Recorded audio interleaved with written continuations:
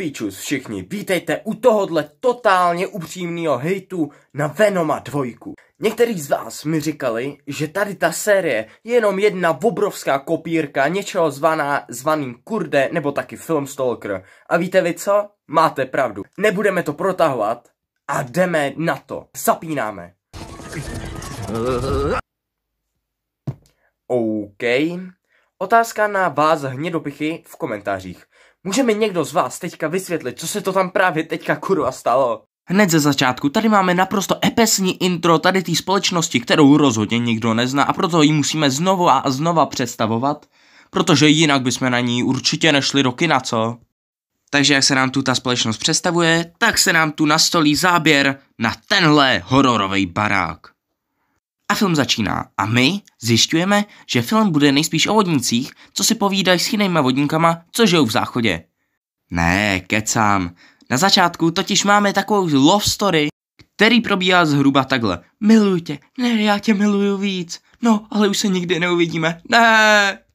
A pak už tu máme jenom směsici takových podivných rozmazaných záběrů, na, na jejich konci začne tady ta podivná černá holka ječet. Poslední slova?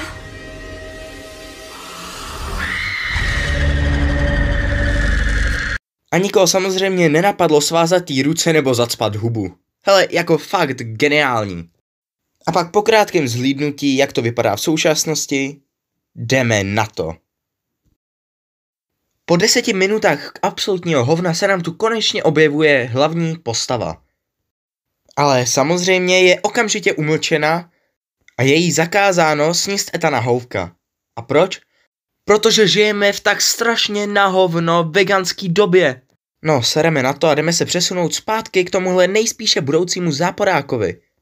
Protože na začátku to očividně nestačilo.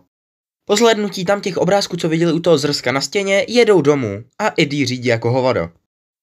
Eddie je teda doma a jako každý osamělý chlap začne okamžitě dělat... No, to jste si mysleli, co? Ne ty vole, on prostě kreslí. Tak co jste si jako mysleli? A samozřejmě to dělá za použití těch nejdražších prostě efektů a to zrychlení. A pak tu následuje taková krátká pasáž, během který přišel na to, že vyřešil nějakou vraždu, ale to je strašná nuda, takže to řešit nebudem. Eddie se jde teda na znamení oslavy projít a zjišťuje se, že postava Venoma má takovou lehkou úchylku na čokoládičky.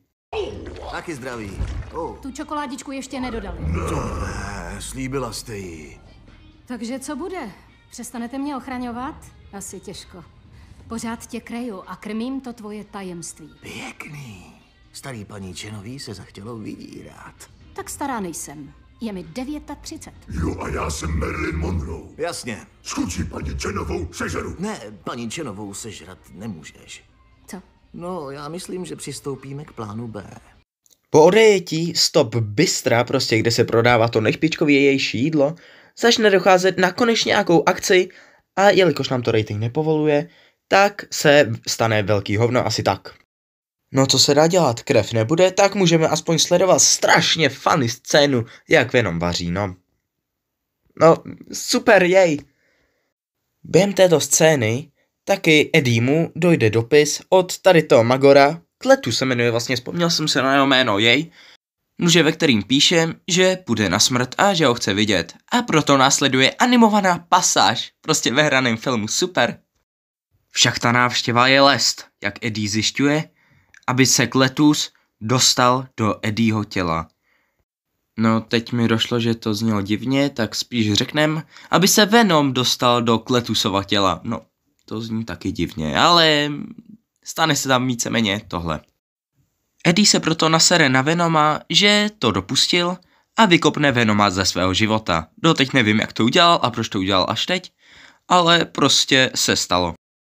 Pokračujeme dál a tentokrát se přesouváme na Kletusovu popravu, která je mimochodem myslím už zakázaná, ne?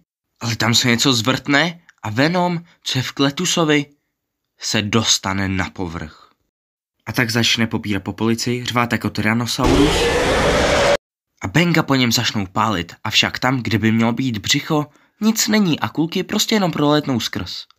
A Kletus jde dál, rozbíjí na co přijde a rozdává francouzáky na. I'm so Kletus zkrátka prchá.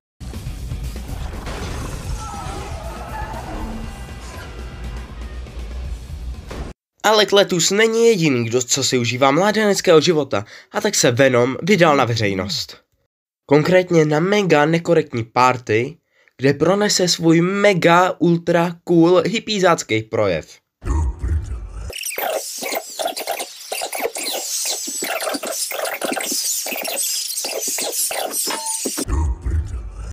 No, vidíte, jak z toho mají všichni hubu spadlou až na zem? Kletus mezi tím rozbil auto a zachránil takovou tu holku, co měl rád a jejíž jméno jsem úspěšně zapomněl. Mezitím se stane hromada strašně divných a nudných věcí, které prostě nebudu rozebírat a jdeme se přesunout už víceméně na konec. Kde se stane to, že Kletus má svatbu a jako rukojmí drží tuhle holku a je ta nahouka. Ale kdo se to tam neobjeví? Křen, eh, teda vlastně Venom. Který má ale z Kletuse totálně nasrano v gatích. Proč jsi zmizel? je to mnohem horší, než jsem myslel. Je rudej. Rudy? Musíme strhnout fofrem. Ani se z toho dostane. Stejně nám dala kopačky. Takže myslíme. Teď? Gratulace novomanželům. My se loučíme. Eddie! Hoj, hoj! Hned jsem u tebe.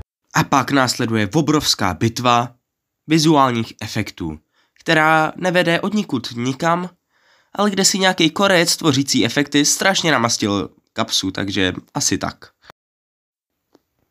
Když v tom bitva končí, zlá černoška, která hystericky ječí, je zavražděná a Carnage je sežrán.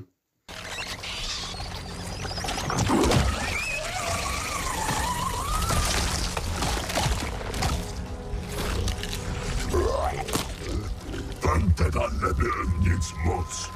Pak už tu máme jenom potitulkové scény, který se tváří, jak jsou strašně důležitý pro Spidermana bezdomova a osobně ne, nejsou. A tím končí smutná historie USA.